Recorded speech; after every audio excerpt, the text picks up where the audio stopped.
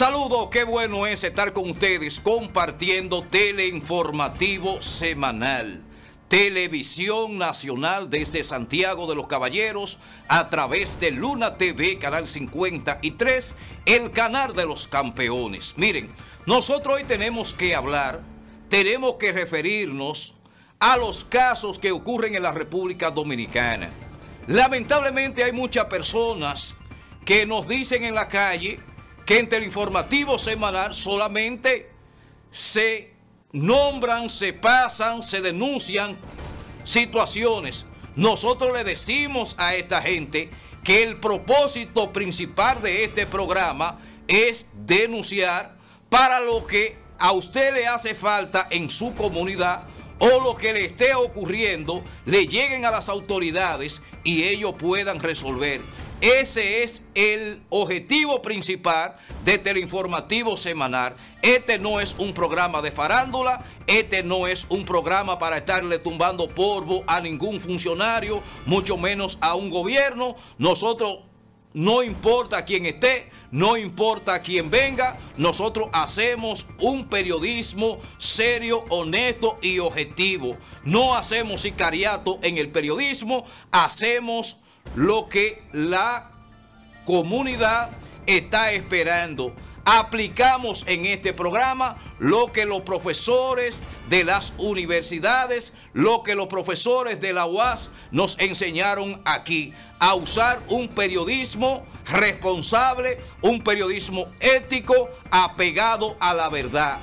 Tratamos de ser lo más transparente posible, por eso nosotros estamos hablando como lo estamos haciendo y estamos cumpliendo con nuestro rol, servirle a las comunidades. Miren, hoy nosotros queremos hablar cómo anda este país con la cuatro gomas para arriba. Las instituciones no están trabajando, las instituciones que deberían de hacer su trabajo se han olvidado de eso. Gente que quiere adjudicarse cosas que no son de su incumbencia y lamentablemente no hay un régimen de consecuencia. Todo parece indicar que esto es un oeste cualquiera donde usted anda con dos pistolas y que se salve el más rápido. Y eso no puede seguir ocurriendo. Quiero comenzar hablando del caso de la ciudad Juan Bosch. Un grupo de policías municipales que no le compete cobrar multas, no le compete poner infracciones, sale con un talonario. Si usted va en vía contraria, que no es lo debido, pero ellos no están para fiscalizar eso. Para eso está DGCET. Ellos no están para poner multas. Ellos no están para cobrar multas físicas ahí, porque ese no es su papel. Pero lo peor es que hicieron un operativo en la ciudad Juan Bosch de Santo Domingo y con relación a esto, luego que se hacen virales estas informaciones, sale el alcalde Dio Atacio a limpiarse la, la, mano como Pilato y a decir que él no tenía conocimiento de eso. Irresponsable es usted, señor alcalde. Usted inmediatamente se enteró de la situación, debió de haber destituido públicamente y haber ofrecido unas declaraciones públicas para que la ciudadanía entienda que usted realmente no tenía conocimiento de esto. Pero ¿qué ha pasado? ¿Qué ha hecho usted? ¿Qué declaraciones ha dado con relación a esto? No ha dicho nada, no va a decir nada y eso es una práctica que se está dando en la mayoría de alcaldías en la República Dominicana porque los alcaldes lamentablemente llegaron ahí por el equívoco de la población y miren ustedes cómo estamos todos pagando el error de unos cuantos. Quiero comenzar con lo ocurrido en la ciudad Juan Bosch y cómo esta gente se está quejando. Vamos a ver. Es un abuso que están haciendo. Pero ellos van a tener problemas porque eso está viral en las redes, eso está viral. ¿Y qué es lo que está pasando? ¿Qué es lo que está pasando? la gente a la Aquí. Como que nadie da dos mil pesos eso para que den para el centro. Dos mil pesos en efectivo que le den a ellos. Hoy dos mil pesos. ¿Cuánto así para Dos mil pesos. ¿Quieres beber hoy? ¿Quieres beber hoy? ¿Quieres beber hoy? Con cuarto ajeno. ¿Por qué solo dos mil pesos? ¿Pero por qué, no, por qué solo dos mil pesos? ¿Por qué? Por multa, y poniendo multa, ellos no están autorizados a poner multa, ellos no están autorizados a poner multa aquí. Está Pero, autorizado ¿de la qué la multa. Eso es un robo, eso es un robo. Eso es un robo. Es un robo que están haciendo. Pero, ¿de qué la multa? ¿De qué la multa? Mira, mira, mira, mira cómo se fueron ya, mira, mira cómo se fueron. Se van, ellos se van, ellos, ellos saben lo que están haciendo. Ellos saben lo que están haciendo. Ellos saben. Ellos saben lo que Oye, el reloj. Por el país como que hace, no, saben cómo hacerlo, ya es. Esto nada más se ve aquí en la ¿Cómo se llama? ¿Cómo se llama? Ese señor no tiene problema. Ese señor no tiene ni siquiera Hay que grabarlo porque él es servidor público yo le pago a él. Yo le pago a él. Yo, en tu estado le pago con mis impuestos. Usted tiene que respetarnos a nosotros también como ciudadanos. Dame los documentos suyos. Para ver si usted es un delincuente. no tiene autoridad. Denme su documento para ver si usted es un delincuente. identificar. Tiene que- ident- usted que usted me dijo a mí que no hay una, usted me dijo una grúa. Usted tiene que responderme a él, ningún, ningún. efectivo. Deme el nombre suyo. Eso te la ponen y ya la pagan el banco. Necesito su dato. Es que fue lo mismo, que bebé, que es bebida. Ah, pues usted tiene. Sí. Ellos me mandaron banco a buscar a la policía. No, no, no. Eso se paga más reserva, eh, la multa. No es efectivo. Pero miren otra situación que a nosotros, realmente nosotros no lo creemos. Nosotros queremos hacer eh, comunicación con Fernandito Villalona, a quien consideramos un ícono, a quien consideramos una persona de respeto, una persona que sería incapaz de hablarle mentira a su propia comunidad que es Loma de Cabrera.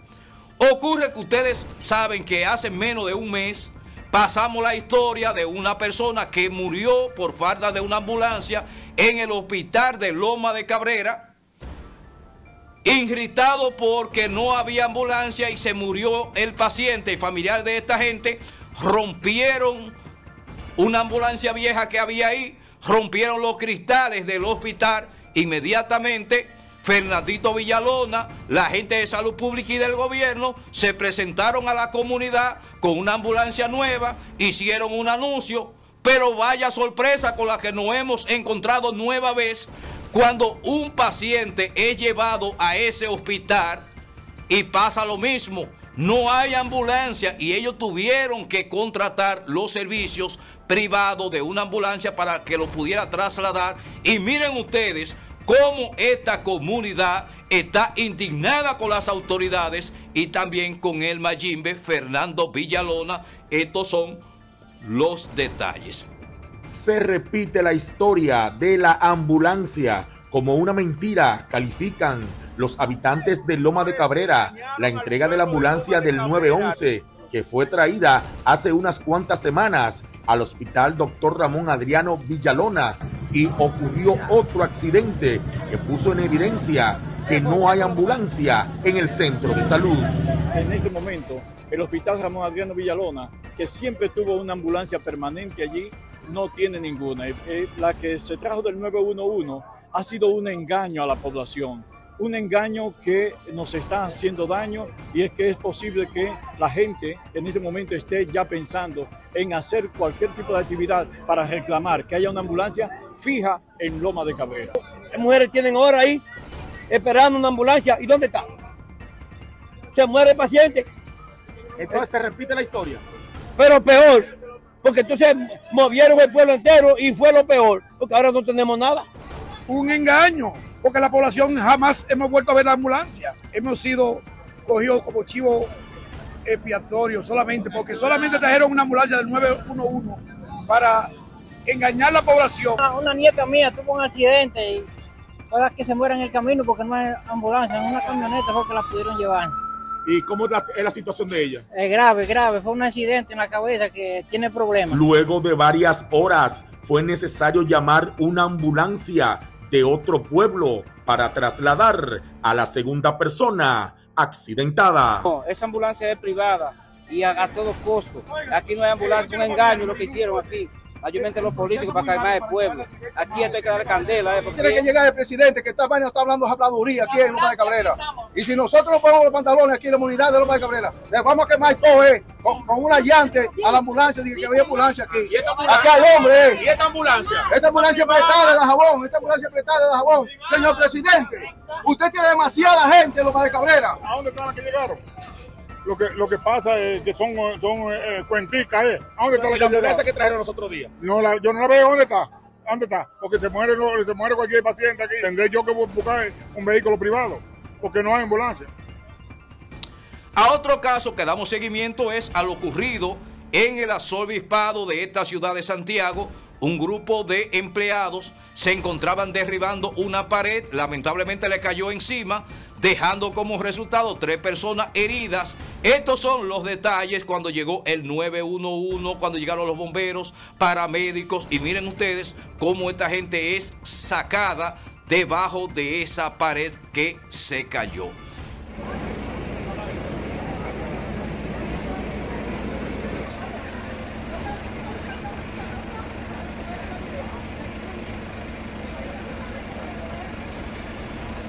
Ministro, dígame, ¿qué tenemos? Sencillamente que están trabajando, haciendo una reparación, un remozamiento de las oficinas de la catedral y parece que hubo un accidente, no estaba en el momento, pero parece que ha habido un accidente y donde ha salido una persona afectada.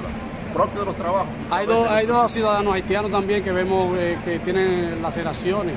No, pero eso, de, de esa parte no pertenece a nosotros, porque se ha contratado una compañía para que haga ese trabajo y esa parte nosotros no la manejamos exactamente. Entonces, la persona que está atrapada es dominicano. No sabría decirte porque no quiero para- Ok, muchas gracias. Muchas gracias, hermano. Bien, ¿cuál es su nombre, señor? Señor Tomás.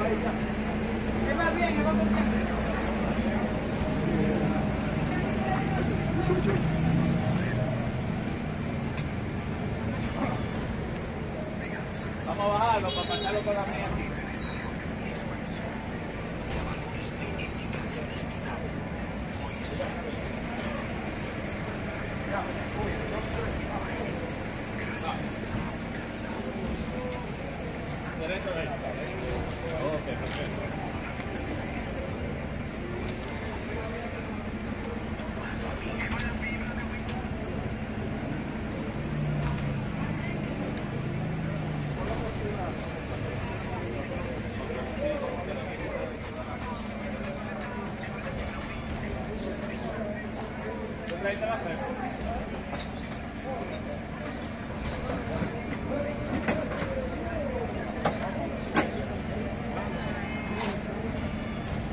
Vamos a una breve pausa comercial. No cambie de canal porque cuando regresemos hay más informaciones en Teleinformativo Semanal.